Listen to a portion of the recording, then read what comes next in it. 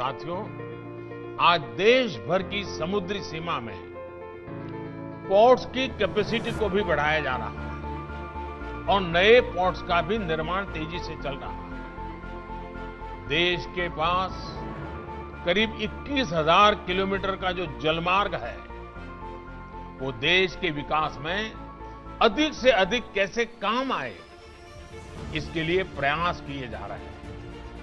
Sagarmala project के तहत आज देश भर में 500 से ज़्यादा प्रोजेक्ट्स पर काम चल रहा है।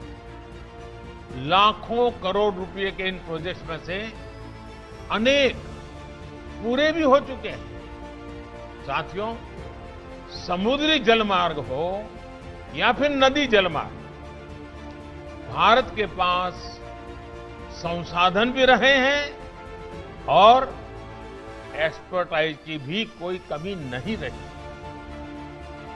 ये भी तय है कि जलमार्ग से होने वाला ट्रांसपोर्टेशन सड़क और रेल मार्ग से कई गुना सस्ता पड़ता है और पर्यावरण को भी कम से कम नुकसान होता है।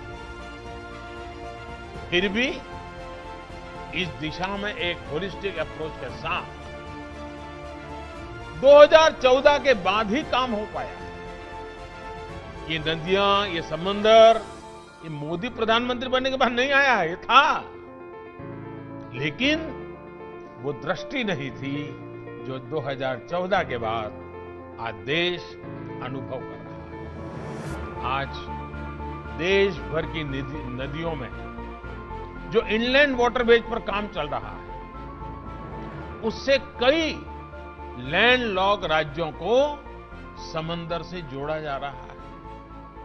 आज बंगाल की खाई खाड़ी में, हिंद महासागर में अपनी क्षमताओं को हम अभूतपूर्व रूप से विकसित कर रहे हैं। देश का समुद्री हिस्सा, आत्मनिर्भर भारत का एक अहम हिस्सा बनकर उभरे। इसके लिए निरंतर काम चल रहा है। सरकार के इन प्रयासों को गति देने के लिए एक और बड़ा कदम उठाया जा रहा है।